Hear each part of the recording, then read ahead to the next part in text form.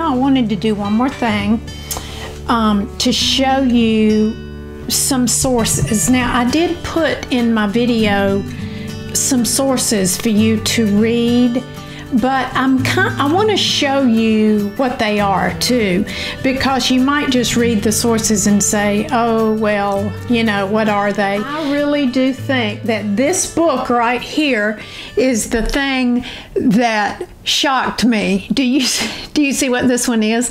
Is Shock and Surprise Beyond the Rapture read it. I mean, it's a good one. And uh, he's Gary has gone. Gary and Nellie both have gone to be with the Lord.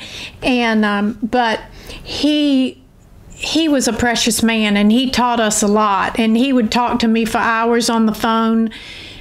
Just to when I had questions, so this this was a great man right here, and he also has another one called the Matthew Mysteries, and that's a good one too. Now, I did put as a source um, Lewis Schoettle Publishing. Now, he has many books on the kingdom, and you can call him. But one of the books I think is great that a lot of these um, men knew and learned from is an is an old an older man died uh, many years ago, and his name is A. Edwin Wilson. I never knew him, but this is an excellent book. Excellent book right here. I would highly recommend this one. Do you see what it is? Okay. Now, uh, another one I put is uh, James Hollingsworth. His books are excellent. I don't know him personally, but I've read his books, and um, he's got three of them, and they're, they're very good. They're very easy to read, and um, it's the end of the pilgrimage. It's um, keys to inheriting the kingdom. We certainly need that, don't we? And Christ Magnified. Those are the three. You can get those on Amazon.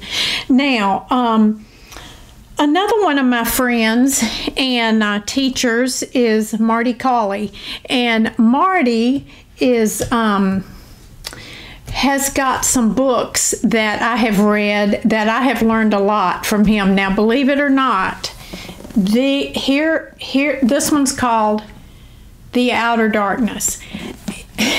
I mean, there are two of them here. They're like phone books.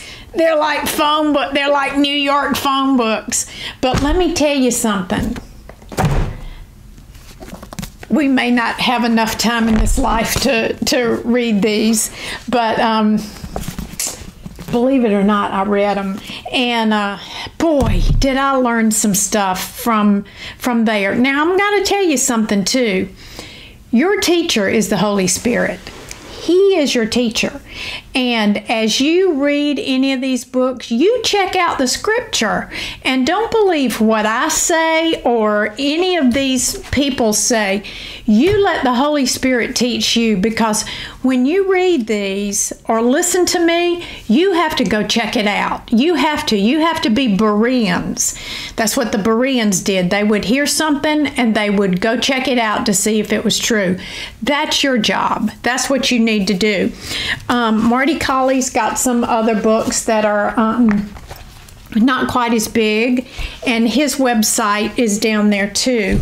Um, now, and also Arlen Chitwood, his site is called the Lamp Broadcast, and um, Arlen has many, many books on all of these subjects, like the bride, the um, the salvation of the soul. Um, I mean, it, they just go on and on and on. And so there are plenty of sources here for you to read. You don't have to just listen to me. And I hope that after you listen to mine, that you will go read some of these because this is, has to be established in your spirit these scriptures and there are other scriptures that that I had forgotten to to bring up like the one when Jesus said um, the being least in the kingdom and greatest in the kingdom. What in the world is that about? There's somebody that's going to be least in the kingdom? Well, yeah, and we know that.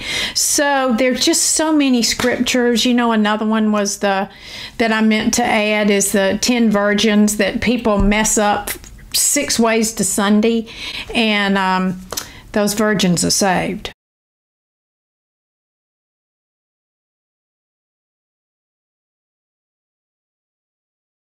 There are five of them that are wise, and there are five of them that are foolish.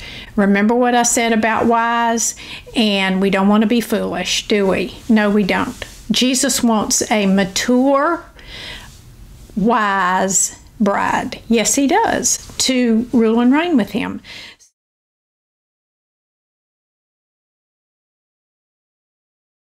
I think that's all of the sources. And of course, you know, here are my two books right here that I said, uh, children's books, that I said I would send to you if you get through uh, lesson 12. I do have another one too, I'll send you that I wrote. Um, it's a little bitty thing called Rightly Dividing the Word.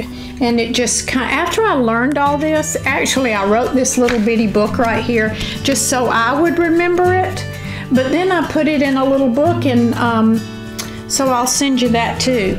So, anyway, that's it.